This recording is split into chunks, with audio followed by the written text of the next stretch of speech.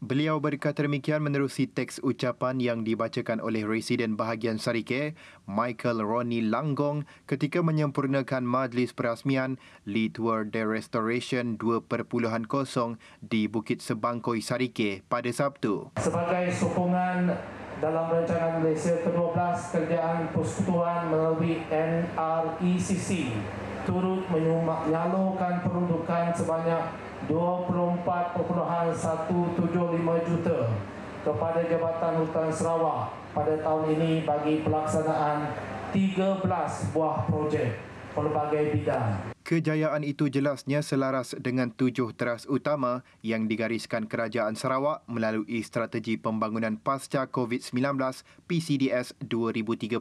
Salah satu daripada teras utama itu ialah memastikan kelestarian alam sekitar terpelihara dan seimbang dengan pelaksanaan pelbagai program pembangunan yang perlu dilakukan untuk keperluan rakyat. Sementara itu dalam perkembangan lain, Michael berkata Taman Bukit Sebangkoi Sarike perlu dihidupkan semula sebagai pusat rekreasi berikutan potensi besar kawasan itu sebagai kawasan tumpuan pengunjung berikutan kewujudan lebuh raya Pen Borneo. Ya, saya selalu uh, memberi uh, apa nama cadangan bagaimana bersama-sama konsol dia macam mana kita nak uh, mem, me, what do you call that, menghidupkan semula ah sebangkoi park ini Eh, lebih-lebih lagi sekarang ini dengan jalan Pen Borneo.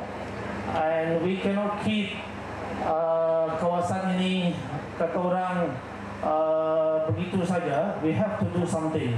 Taman yang terletak 26 km dari pusat Bandar Sarike itu juga mempunyai kemudahan infrastruktur yang sesuai untuk pelbagai acara sukan lasak termasuk aktiviti perkemahan.